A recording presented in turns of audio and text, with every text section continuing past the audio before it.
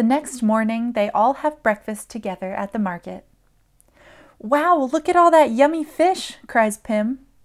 Pom can't believe his eyes. Can you just take whatever fish you like?